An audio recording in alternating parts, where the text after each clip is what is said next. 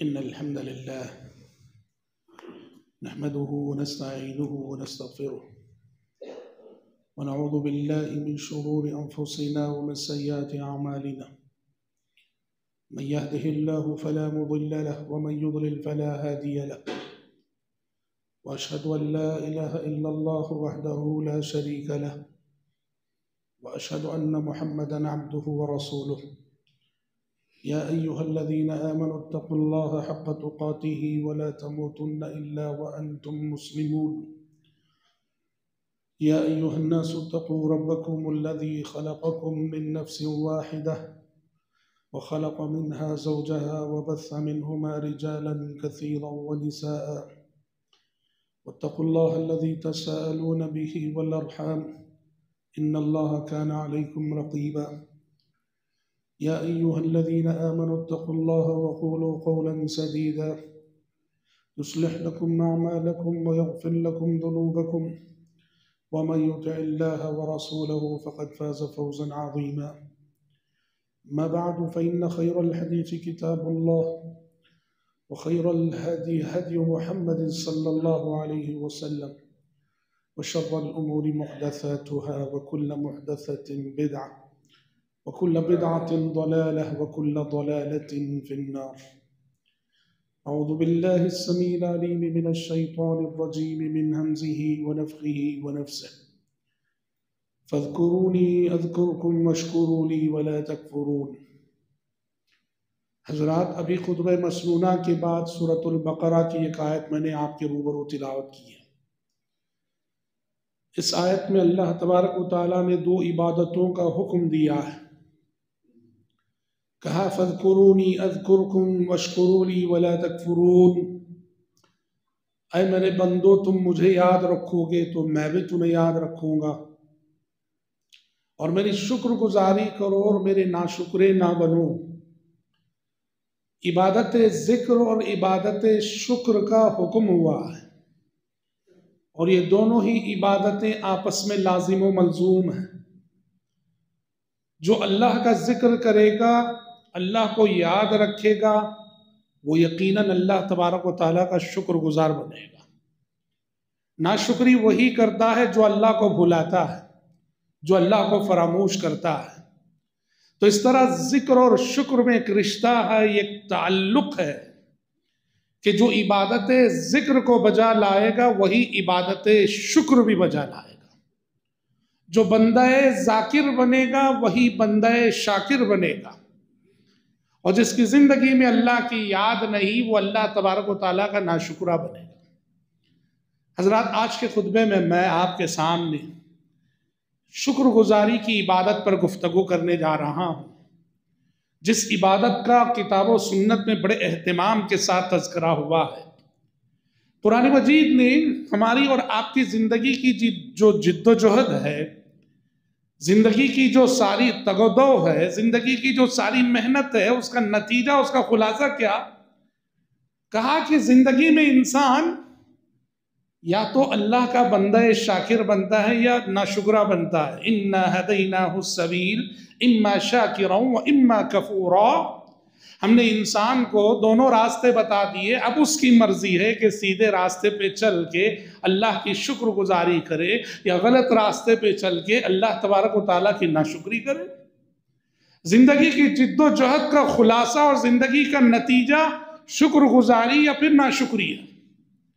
قرآن مجید نے دن اور رات کا یہ جو تغیر ہے، دن اور رات کا یہ جو رد و بدل ہے دن کے بعد، رات کا آنا، رات کے بعد دن کا آنا، اس میں جو پیغام مزمر ہے، اس کو بھی پیغام شکر گزاری سے تعبیر کیا۔ سورة الفرقان میں اللہ نے کہا، وَهُوَ الَّذِي جَعَلَ اللَّيْلَ وَالنَّهَارَ خِلْفَةً لِمَنْ أَرَادَ أَن يَذَّكَّرَ أَوْ أَرَادَ شُكُورًا۔ کہ اللہ ہی نے دن اور رات کو یکے بعد دیگرے آنے جانے والے بنایا کہ دن کے بعد رات آتی ہے، رات کے بعد دن آتا ہے اور اس میں سامان ذکر بھی ہے، سامان شکر بھی ہے۔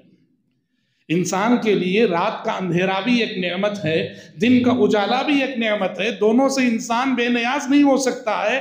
اس طرح رات اور دن کے، رات اور دن کا آنا جانا انسان کو عبادت شکر کا پیغام دیتا ہے۔ بھائیوں شکر گزاری بہت بڑی عبادت ہے۔ مقام شکر بہت اونچا مقام ہے۔ اور اس بندگی میں، اس زندگی میں بندگی کے اس مقام پہ بہت کم لوگ فائز ہوتے ہیں۔ اسی لیے آپ دیکھیں گے قرآن مجید نے اللہ کے جلیل القدر پیغمبروں کو جن صفات سے یاد کیا ہے، اس میں سے ایک شکر گزاری بھی۔ کہ اللہ کے پیغمبروں کی جو زندگیاں تھیں، اللہ کے نبیوں کی یہ جو زندگیاں تھی یہ کیا پیغام دیتی ہے؟ کہا کہ ان بندوں کی خصوصیت یہ تھی کہ ان کی زندگی کا لمحہ لمحہ رب کی شکر گزاری کا پیغام دیا کرتا ہے۔ نو علیہ السلام کے سلسلے میں کہا، انہو کان عبدا شکورا کہ نو علیہ السلام اللہ کے بڑے شکر گزار بندے تھے۔ ابراہیم خلیل اللہ علیہ السلام کے سلسلے میں قرآن نے کہا شاکر لانومہ ان ابراہیم کان امتا قانتا للہ حنیفا ولم یکو من المشرکین۔ شاکرا لانومہ کہ خلیل اللہ وہ ہے جو ہمیشہ اللہ کی نعمتوں پہ شکر گزار رہا کرتے تھے۔ اور ہمارے نبی سے مخاطب ہو کے قرآن نے کہا، بل اللہ فعبد وکم من الشاکرین. اے پیغمبر، اللہ کی عبادت کیجیے اور شکر گزاروں میں سے ہو جائیے۔ اللہ کے جلیل قدر پیغمبروں کو، جو اس زمین کے سب سے سچے اور صادق بندے تھے، اللہ رب العزت نے انہیں بندے شاکر کے لقب سے یاد کیا ہے۔ مطلب یہ ہوا، بندگی کی میراج ہے، بندگی کا اعلیٰ مقام ہے۔ بندگی کا اعلیٰ امتیاز ہے کہ آپ کو شکر گزاری کی توفیق مل جائے اور آپ ہمیشہ اللہ رب العالمین کی شکر گزاری میں آپ کی زندگی کے دن گزر جائے حضرات، عبادت شکر اس وقت تک ناممکن ہے جب تک کہ مجھے اور آپ کو احساس نعمت کی دولت نصیب نہ ہو۔ شکر گزاری کب ہوتی ہے؟ نعمتوں پر ہوتی ہے۔ لہٰذا جس بندے کو نعمتوں کا جس قدر احساس ہوگا، صحیح معلوم ہے وہی اللہ تبارک و تعالیٰ کا شکر گزار بنے گا۔ اور احساس نعمت سے جو جس قدر دور ہوگا، وہ اسی قدر شکر گزاری کے مقامات سے دور ہوگا۔ اور نعمتوں کی اگر بات کریں، تو ہم میں سے سبوں کو نعمتیں ملی ہوئی ہیں، مگر بہت کم ایسے ہیں جنہیں نعمتوں کا احساس ہے۔ اللہ نے کہا ہم نے تمہیں اتنا نوازا ہے، اتنا نوازا ہے، اتنا نوازا ہے۔ وَإِن تَعُدُّ نِعْمَةَ اللَّهِ لَا تُحْسُوهَا اے انسانو، اللہ کی نعمتوں کو تم گننا چاہو، شمار کرنا چاہو، شمار نہیں کر سکتے۔ تمہارے پاس بنگلے نہ صحیح بزنس نہ صحیح، کاروبار نہ صحیح، گاڑیاں نہ صحیح، عہدے نہ صحیح، منصب نہ صحیح، مال نہ صحیح، تجارت نہ صحیح، کاروبار نہ صحیح۔ یہ تمہارا اپنا جو وجود ہے، سر سے پیر تک۔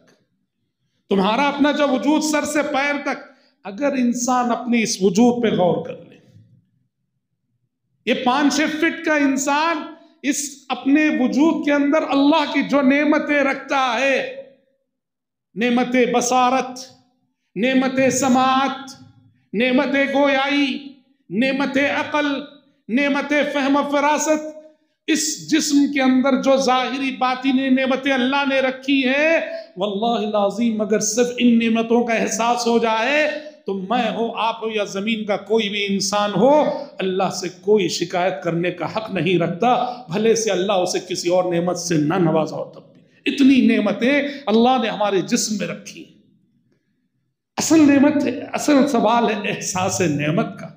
اور احساس نعمت اگر ہو جائے نا، احساس نعمت اگر ہو جائے ہمیں ملی ہوئی ایک ایک نعمت کتنی عظیم ہے، اس کا اگر احساس ہو جائے، واللہ العظیم، ہم سجدے سے سر نہیں اٹھائیں گے۔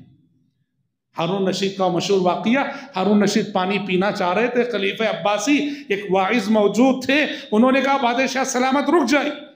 کہا، کیا بات ہے؟ آپ یہ جو پانی پینے جا رہے ہیں نا، بتائیے کہ اگر کبھی آپ کو شدید پیاس لگی ہو اور یہ ایک گلاس پانی نہ مل رہا ہو، کیا کریں گے آپ؟ ہارون رشید نے کہا، شدید پیاس لگی ہو، پانی نہ مل رہا ہو، میں اس ایک گلاس پانی کو پانے کے لیے اپنی آدھی دولت، آدھی مملکت سے ہی خرچ کر ڈالوں گا۔ دیکھ رہے ہیں آپ؟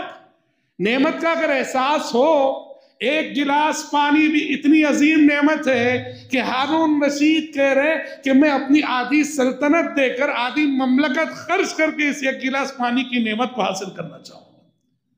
احساس نعمت بہت بڑی چیز ہے۔ اس لیے حضرات، پیارے نبی کا اسوا ہے، پیارے نبی کی تعلیم ہے، ہماری صبح احساس نعمت کے سائے میں گزرنی چاہیے۔ ہمارے شام احساس، ہماری شام احساس نعمت کے سائے میں گزرنی چاہیے۔ صبح و شام کے جو اذکار آپ صلی اللہ علیہ وسلم پڑھا کرتے تھے نا، صبح و شام کے اذکار میں عظیم ذکر کہتے تھے آپ، اللہم ما اصبح بی من نعمت نو بعد من خلقك فمنك وحدك لا شریک لك فلك الحمد ولك الشکر۔ اے اللہ، آج میں نے صبح کی ہے اور اس صبح مجھے جو جو نعمتیں ملی ہوئی ہیں، مجھے ہی نہیں، تیری مخلوقات میں جس جس کو جو بھی نعمتیں ملی ہوئی ہیں، پروردگارہ، میں مانتا ہوں، اعتراف کرتا ہوں، اقرار کرتا ہوں، ان نعمتوں کا نوازنے والا تو ہی ہے۔ فمن کا یہ نعمتیں تیری ہی جانب سے وحدک، میں تیری وحدانیت کی گواہی دیتا ہوں۔ اور میں تیری ہر قسم کی حمد و ثنا بیان کرتا اور شام کو بھی یہی ذکر پڑھتے تھے آپ۔ اللہم ما انسا بی من نعمت او بیاحد من خلقک فمنک وحدک لا شریک لک۔ تو ہماری صبح و شام، لیل و نہار، احساس نعمت میں گزرنی چاہیے۔ پیارے نبی صلی اللہ علیہ وسلم نے اپنی لاڈیل صحابی، جلیل القدر صحابی معاذ بن جبل سے آپ نے کہا تھا، یا معاذ، انی احبک۔ فلا تدعن دبر كل صلاة ان تقول، رب اعنی على ذکرک و شکرک و حسن عبادت کہا کہ معاذ، مجھے تم سے بڑا پیار ہے، مجھے تم سے بڑی محبت ہے، مجھے تم سے بڑا لگاؤ ہے۔ ایک عظیم دعا سکھاتا ہوں، کسی فرض نماز کے بعد اس دعا کو بھولنا مت۔ ہر فرض نماز کے بعد اس دعا کو ضرور پڑھنا ہے معاذ۔ کہا، کیا ہے اللہ کی نبی دعا؟ کہا، رب اعنی علی ذکرک و شکرک و حسن عبادت. اے اللہ، میری مدد فرما کہ میں تیرا زیادہ سے زیادہ ذکر کر سکوں۔ میری مدد فرما کہ میں تیری شکر گزاری کر سکوں۔ اور میری مدد فرما کے میں تیری اچھی سی اچھی عبادت کر سکوں۔ پیارے نبی صلی اللہ علیہ وسلم نے اپنی جن القدر صحابی کو یہ دعا سکھائی۔ حضرات، ہم شکر گزار کیسے بنے؟ یا شکر گزاری کے تقاضے کیا ہیں؟ جن تقاضوں پر عمل کرنے کے بعد ہمارا اور آپ کا شمار بندہ شاکرین، بندہ شاکر کے طور پر اللہ کے شکر گزار بندوں کی صف میں ہوگا۔ کچھ تقاضے ہیں، کچھ صفات ہیں، وہ ہمارے اندر ہونی چاہیے۔ وہ جب آئیں گی تو ہم اللہ کے بندے شاکر بنیں گے۔ اس میں سب سے پہلی چیز اللہ کی نعمتوں کا احساس کر کے ہمیشہ اللہ کی عبادت اور اس کی حمد و ثنا میں رتب اللسان ہونا۔ پیارے نبی فرماتے ہیں، اگر یہ گھونٹ پانی بھی پیتے ہو تو احساس نعمت سے الحمدللہ کہو۔ ایک لقمہ کھانا بھی کھاتے ہو، ایک لقمہ تمہارے پیٹ میں آسانی سے جا رہا ہے، احساس نعمت سے کہو الحمدللہ۔ اللہ کی حمد و ثنا ہر آن، ہر لمحہ، ہر وقت، ہر نعمت پر۔ اچھا نعمت پر؟ نہیں، نعمت پر تو حمد و ثنا ہوتی ہی ہے۔ شکر گزار بندوں کی شکر گزاری کا یہ معیار ہے کہ وہ نعمتوں میں تو الحمدللہ کہتے ہی ہے، لیکن الحمدللہ کی یہ تعریف، یہ حمد و ثنا مصیبتوں میں بھی ان کی زبان پہ جاری ہوتی ہے۔ مصیبتوں میں جہاں دوسروں سے صبر مشکل ہوتا ہے، یہ بندہ شاکر مصیبتوں میں بھی بندہ شاکر بنا رہتا ہے۔ کیسے بنا رہتا ہے؟ ترمیزی کی وہ حدیث آپ نے سنی۔ ہاں۔ جب اللہ کے حکم سے فرشتے کسی مومن میاں بیوی کے لخت جگر کی روح قبض کر لیتے ہیں، گود کے بچے کی روح قبض کر لیتے ہیں۔ پیدا ہوا بچہ انتقال کر جاتا ہے۔ چھ مہینے، سال، دو سال کا بچہ انتقال کر جاتا ہے۔ اللہ فرشتوں سے پوچھتا ہے فرشتوں، جب تم نے میرے بندے کے لخت جگر کی روح قبض کی، میرے بندے کا ریاکشن کیا تھا؟ رد عمل کیا تھا؟ فرشتے کہتے ہیں، پروردگارہ، وہ ان کا لاڈلا بند بیٹا، جب ہم نے تیرے حکم سے ان کی روح قبض کی، روح قبض کی، تو پروردگارہ، تیرے بندے نے جو کہ اس کا باپ تھا، اس نے سب سے پہلے تیری تعریف کرتے ہوئے کہا، الحمدللہ۔ پہلے کہا، الحمدللہ۔ اور اس کے بعد ان للہ و الیہ راجعون پڑھا۔ اللہ کہتا ہے، اس مشکل گھڑی میں، اس آزمائش کی گھڑی میں، اس آفت کی گھڑی میں، اس غم کی گھڑی میں، اس دکھ کی گھڑی میں میرے فیصلے سے راضی رہتے ہوئے میرا بندہ میری تعریف کر رہا ہے، الحمدللہ کہہ رہا ہے، میری شکر گزاری کر رہا ہے۔ ابنو لعبدی بیتن فی الجنہ وسموہ بیت الحمد۔ یہ جو بچہ ہے وہ تو جنت کا ٹکٹ بنا ہی۔ یہ جو بچہ ہے وہ تو ماں باپ کے لیے جنت کا ٹکٹ بنا ہی۔ اللہ کہے گا، میرے اس بندے کے لیے جو کہ ماں ماں باپ ہیں یعنی ماں باپ کے لیے۔ جنہوں نے اس آزمائش کی گھڑی میں بھی ان للہ سے پہلے الحمدللہ کا اللہ کہتا ہے، میرے اس بندے کے لیے فرشتوں جنت میں ایک محل بنا دو اور اس محل کا نام ہی رکھو بیت الحمد۔ بیت الحمد، اس لیے کہ مصیبت میں میرے بندے نے میری حمد کی، میری سنا کی، اس لیے اس کے محل کا نام بھی بیت الحمد رکھا جائے۔ پتا چلا، شکر گزاری کا ایک بہت بڑا تقاضا کیا ہے؟ میری اور آپ کی زبان ہمیشہ اللہ رب العزت کی حمد و ثنا میں رتب اللسان رہے۔ نعمت ملے، الحمدللہ۔ دکھ ملے، الحمدللہ۔ خوشیاں ملے، الحمدللہ۔ رنج ملے الحمدللہ، صحت ملے الحمدللہ، بیمار ہو جائے الحمدللہ، بہر صورت اللہ کی حمد و ثنا میں ہماری زبان رتب اللسان ہونا چاہیے۔ اور یاد رہے کہ نعمتوں میں کہے جانے والے الحمدللہ کے مقابلے میں آزمائشوں اور مصیبتوں میں گھر کر جو الحمدللہ کہا جاتا ہے، اس الحمدللہ کی اللہ کے پاس بڑی قیمت بڑی قیمت ہے۔ اور ایک اور تقاضا شکر گزاری کا، جو بندے کو بندہ شاکر بناتا، وہ یہ ہے، نعمت جو آپ کو ملی ہوئی ہے، وہ کتنی بڑی نعمت کیوں نہ ہو؟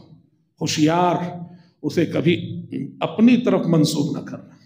میں، میری قابلیت، میری صلاحیت، میری محنت، نہیں نہیں نہیں، یہ غرور ہے، یہ تکبر ہے، یہ انانیت ہے۔ یہ میں نہیں چلے گا۔ یہ نہ اللہ کو منظور ہے، نہ مخلوق کو منظور ہے۔ نعمت جب بھی ملتی ہے تو نعمت کو منعم حقیقی کی طرف منسوخ کرو۔ جو نعمتوں سے نوازنے والی ذات ہے، اس کی طرف منسوخ کرو۔ اپنی طرف نہیں۔ ٹھیک ہے کہ تم نے محنت کی ہے۔ تم نے جستجو کی ہے۔ تم نے اس کے لیے بہت خون پسینہ بہایا ہے۔ لیکن نعمت مل جائے تو کہو، میرے رب کا فضل ہے۔ سلیمان علیہ السلام کو آپ نے دیکھا نہیں؟ ملک سبا بلقیس کا تخت، ڈیڑھ ہزار آنا اور ڈیڑھ ہزار جانا، تین ہزار میل کی مسافت سے جب تخت حاضر کر لیا گیا۔ اور وہ بھی کتنی دیر میں؟ پلک جھپکنے کی دیر میں۔ کیا کہتے ہیں؟ من فضل ربی من فضل ربی یہ میرے رب کا فضل و کرم ہے۔ میں نہیں کہا، میری قابلیت نہیں کہا، میری صلاحیت نہیں کہا۔ وہ تو خارون کی صفت ہے۔ خارونیت ہے یہ۔ کہ ہم یا میں یا آپ اپنی کسی نعمت کو اپنی صلاحیت کی طرف منسوخ کرے خارون کو نصیحت کرنے والوں نے نصیحت کی تو اس نے کیا کہا؟ انما اوتیتہ علی علم عندی۔ ارے یہ جو بھی پیسہ ہے، دولت ہے، دھن ہے، یہ سب میری قابلیت کا نتیجہ ہے۔ میرا کمایا ہوا مال ہے۔ اگر آپ کی زبان پہ، میری زبان پہ زندگی میں کبھی آ گیا نا یہ جملہ، سمجھ جاؤ ہم قارونیت کے راستے پہ چل پڑے اور اللہ اس راستے پر چلنے سے بچائے هذا من فضل ربی، بندے شاکر سلیمان علیہ السلام کی دعا۔ نعمت کو منعم حقیقی یعنی اللہ کی طرف منسوخ کرو۔ اور تیسری چیز بھائیو، نعمت کی جو شکر گزاری کے تقاضے ہیں، اس میں سے اظہار نعمت۔ جو نعمت اللہ نے آپ کو دی ہے، بخیلی مت کرو، ظاہر کرو نعمت کو۔ اللہ بندے کو نعمت دیتا ہے، اس کی زندگی میں اس نعمت کا اثر بھی دیکھنا چاہتا ہے۔ قرآن نے کہا، وَأَمَّا بِنِعْمَةِ رَبِّكَ فَحَدِّسِ اے پیغمبر، اپنے رب کی نعمت کو بیان کرتے جائیے، بیان کرتے جائیے۔ اظہار نعمت۔ ہاں جہاں نعمت کے اظہار سے آپ کو ڈر ہے، کسی حاسد کے حسد کا، کسی دشمن کے جلن کا، یا کسی کی نظر بد لگنے کا، وہاں اظہار نعمت سے گرائش کرو۔ ورنہ عام حالات میں آپ کے طرز زندگی، آپ کے رہن سہن، آپ کے لباس پوشاک کو دیکھ کر لگنا چاہیے کہ اللہ نے آپ کو جو نعمتیں دی ہیں، ان نعمتوں کا اظہار ہو رہا ہے۔ اظہار نعمت، یہ نعمت کی شکر گزاری کا بہت بڑا تقاضا ہے۔ اور اسی سے آگے بڑھتے ہوئے، نعمت کی شکر گزاری کا ایک اور بڑا تقاضا، کہ آپ کو نعمت ملی ہے تو شکر گزاری کا تقاضا ہے کہ اس نعمت میں اللہ کے ان بندوں کو شریک کرو جو اس نعمت سے محروم ہیں۔ سمجھ رہے ہیں آپ؟ آپ کے رشتہ دار، دولت آپ کو ملی، بنگلے آپ کو ملے، بزنس اچھا خاصا آپ کا، اور دیکھ رہے ہیں کہ پورا خاندان غریب ہے۔ نعمت کا تقاضا ہے کہ اپنی نعمت میں غریب رشتہ داروں کو شریک کرو، غریب دوست و احباب کو شریک کرو۔ غریب اڑوس پڑوس کو شریک کرو۔ جو لوگ نعمت سے محروم ہیں، ان کو ہمیں ملی ہوئی نعمت میں شریک کر لینا۔ انہیں نواز، آپ کو اللہ نے مال دیا ایک ضرورت مند آتا ہے، کہتا ہے، قرض دیجیے مجھے۔ نعمت کا تقاضا ہے کہ آپ اسے قرض دیجیے، اپنی نعمت میں دوسروں کو شریک کیجیے۔ یہ شکر گزاری کا بہت بڑا تقاضا ہے۔ اور حضرات، شکر گزاری کا ایک بہت بڑا تقاضا یہ ہے کہ اللہ کی شکر گزاری کے تقاضوں کو ہم اس وقت تک پورا نہیں کر سکتے جب تک کہ اس زمین پر اس کے بندوں کی شکر گزاری نہ کریں۔ پیارے نبی نے حدیث میں فرمایا، لا یشکر اللہ، من لا یشکر الناس۔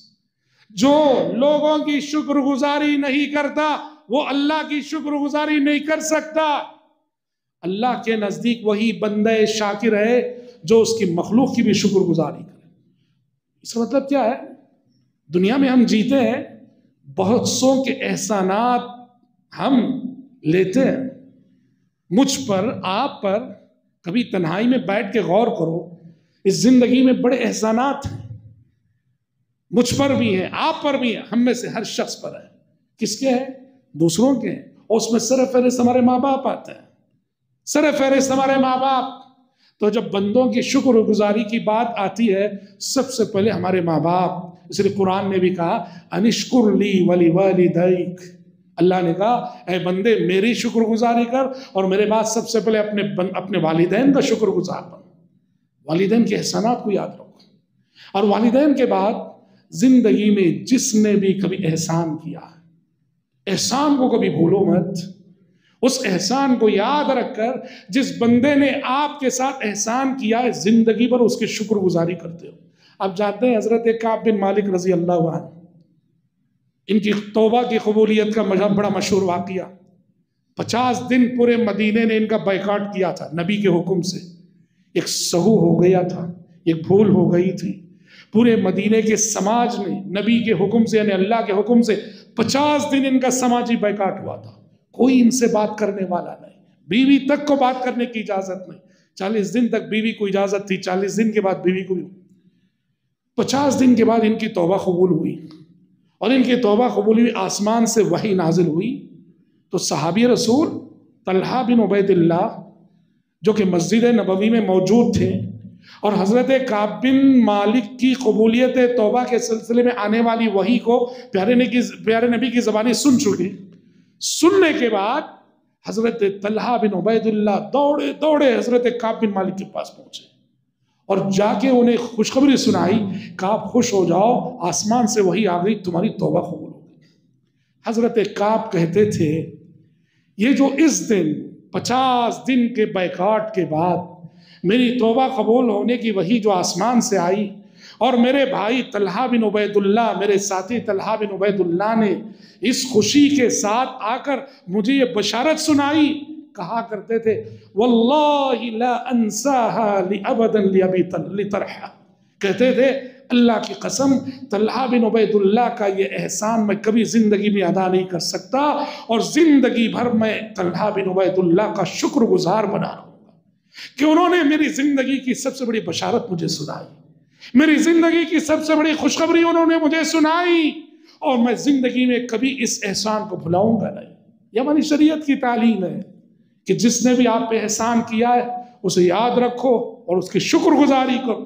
اور یہ یعنی مخلوق کی شکر گزاری کی جب بات آ رہی ہے تو صرف مسلمان نہیں مسلمان نہیں، کسی غیر مسلم نے اگر آپ پہ احسان کیا ہے، کسی ہندو نے آپ پہ احسان کیا ہے، کسی یہودی نے آپ پہ احسان کیا ہے، کسی کرسچن نے آپ پہ احسان کیا ہے، اسلام کہتا ہے ہر انسان کے احسان کو یاد رکھو اور زندگی پر اس کی شکر گزاری کرتے رہو۔ آپ جانتے ہیں مکی زندگی میں مکے کا ایک بہت بڑا سردار تھا متعم بن عادی۔ مکے کا سارا معاشرہ نبی کو ستا رہا تھا، نبی کو رنج دے رہا تھا، نبی کو دکھ دے رہا تھا۔ یہ شریف انسان ایسا تھا متعم بنادی کئی موقعوں پر اس نے پیارے نبی صلی اللہ علیہ وسلم کی آگے بڑھ کر مدد کی۔ حالانکہ وہ خود کافر۔ وہ خود غیر مسلم وہ خود مشرق پر انسانیت نواز تھا۔ انسانیت نواز تھا۔ مکے والوں کا مقابلہ کر کے پیارے نبی کی مدد کرتا تھا۔ پیارے نبی طائف گئے۔ طائف سے جب آپ لوٹے، تو مکے والوں نے مکے میں آپ کا داخلہ بند کر دیا۔ مکے والوں نے پیارے نبی سے کہا، اب مکے میں داخل نہیں ہو سکتے آپ۔ ہم آپ کو مکے میں داخل ہونے نہیں دیں گے۔ تو اس وقت متعم بنادی یہ جو کافر سردار تھا یہ آگے بڑھ کر آیا، اس نے کہا، محمد، میں آپ کو پناہ دیتا ہوں۔ میری شخصی پناہ میں مکے میں داخل ہو جائیے یہاں مدد کی متعم بنادی نے آپ کی۔ دوسرا موقع شیب ابی طالب کا جو سماجی بیکاٹ تھا، اس بیکاٹ کو ختم کیا متعم بنادی نے۔ مکے والوں نے تین سال کے لیے مسلمانوں کا سماجی بیکاٹ کر رکھا تھا۔ اس بیکاٹ کو ختم کرنے میں بھی متعم بنادی کا کردار تھا، جو کہ غیر مسلم تھے یہ دو احسانات متعم بنادی کے پیارے نبی پر رہے۔ پیارے نبی نے اتنا یاد رکھا، اتنا یاد رکھا متعم بنادی کے اس احسان کو۔ جب مدینہ جانے کے بعد مدنی زندگی میں جنگ بدر ہوئی اور بدر میں ستر کافر گرفتار ہوئے مسلمانوں کے ہاتھ، پہلی مرتبہ اس دن پیارے نبی نے متعم بن کو یاد کیا، کیونکہ اس وقت تک متعم بن کا انتقال ہو چکا تھا۔ انتقال ہو چکا تھا۔ لیکن آپ نے یاد کیا اور یاد کر کے کہا تھا، لو كان المتعم ابن عدي حيا ثم كلمني في هؤلاء النتنا لاعتقتهم له آپ کہا، آپ نے کہا، اگر آج متعم بن عدی زندہ ہوتا اور وہ آ کر میری خدمت میں حاضر ہو کر ان ستر قیدیوں کی سفارش میں ایک جملہ کہا ہوتا، اس کے ایک جملے پر ان ستر قیدیوں کو میں آزاد کر دیا ہوتا بخاری کی حدیث ہے، صحیح بخاری میں۔ احسان احسان ہوتا ہے، وہ کافر کا ہو، وہ ہندو کا ہو، وہ یہودی کا ہو، وہ کرسچن کا ہو۔ احسان احسان ہوتا ہے اور اسلام کی تعلیم ہے کہ زندگی میں جس نے بھی تم پہ احسان کیا ہے، اپنے محسن کو بھی کبھی مت بلاؤ احسان فراموشی بہت بری صفت ہے۔ تم اگر بندوں میں محسنوں کو بھلاؤ گے تو تم اللہ کو بھی بھلاؤ۔ گے لا یشکر اللہ من لا یشکر الناس کا مطلب یہی ہے۔ اس لیے بھائیوں اللہ کی شکر گزاری کے تقاضے اس وقت تک پورے نہیں ہو سکتے جب تک کہ ہم اس کے بندوں کی شکر گزاری نہ کریں۔ زندگی میں جس نے بھی کبھی آپ کو ساتھ دیا ہے، اسے بھولو مت، اسے فراموش کرو مت اور شکر گزار بنے رہو۔ قرآن کہتا ہے، وَقَلِيلٌ مِّنْ عِبَادِيَ الشَّكُورِ۔ اس زمین پر میرے شکر گزار بندے بہت کم ہیں۔ نعمتیں تو سب کو ملی ہوئی ہیں۔ لیکن احساس نعمت کے ساتھ اللہ کی شکر گزاری کرنے والے بندے خود قرآن کہہ رہے بہت تھوڑے ہیں، بہت تھوڑے ہیں۔ اور میجارٹی کس کی جانتے ہیں؟ میجارٹی انسانوں کی کہا ان الانسان لربه لکنود میجارٹی ان انسانوں کی ہے جو کنود ہے کنود کسے بولتے جانتے ہیں؟ عربی زبان میں۔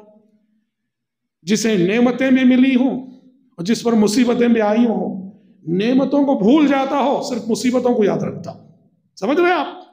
نعمتوں کو بھول جائے اور صرف مصیبتوں کو یاد رکھے۔ اس انسان کو، ناشکر انسان کو بولتے ہیں کنود اور اللہ کہہ رہا ہے کہ ان الانسان لربه لکنود انسان اپنے رب کا بڑا ناشکرہ ہے۔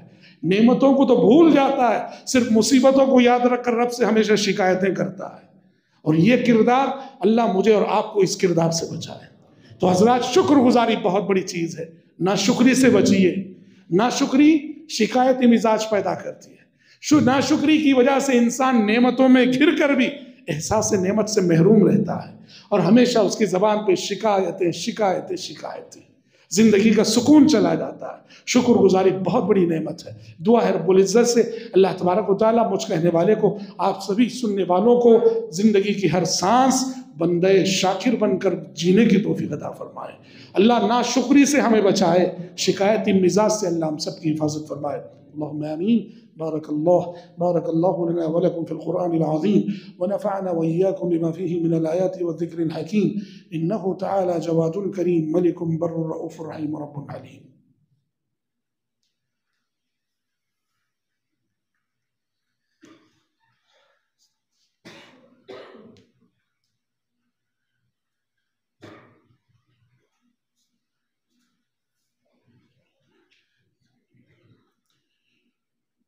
إن الحمد لله نحمده ونستعينه ونستغفره ونعوذ بالله من شرور أنفسنا ومن سيئات أعمالنا.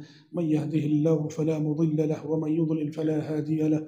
وأشهد أن لا إله إلا الله وحده لا شريك له. وأشهد أن محمدا عبده ورسوله. أما بعد فإن خير الحديث كتاب الله وخير الهدي هدي محمد صلى الله عليه وسلم وشر الأمور محدثاتها وكل محدثة بدعة وكل بدعة ضلالة وكل ضلالة في النار. أعوذ بالله السميع العليم من الشيطان الرجيم. إن الله وملائكته يصلون على النبي يا أيها الذين آمنوا صلوا عليه وسلموا تسليما. اللهم صل على محمد وعلى آل محمد كما صليت على إبراهيم وعلى آل إبراهيم إنك حميد مجيد. اللهم بارك على محمد وعلى آل محمد كما باركت على إبراهيم وعلى آل إبراهيم إنك حميد مجيد. وصل على جميع الأنبياء والمرسلين والملائكة المقربين والخلفاء الراشدين. اللهم انصر من نصر دين محمد صلى الله عليه وسلم واجعلنا منهم آمين. واخذل من خذل دين محمد صلى الله عليه وسلم ولا تجعلنا منهم آمين. عباد الله رحمكم الله إن الله يأمر بالعدل والإحسان وإيتاء ذي القربى وينهى عن الفحشاء والمنكر والبغي يعظكم لعلكم تذكرون. اذكروا الله يذكركم مدعوه يستجب لكم ولذكر الله أكبر. والله يعلم ما تصنعون.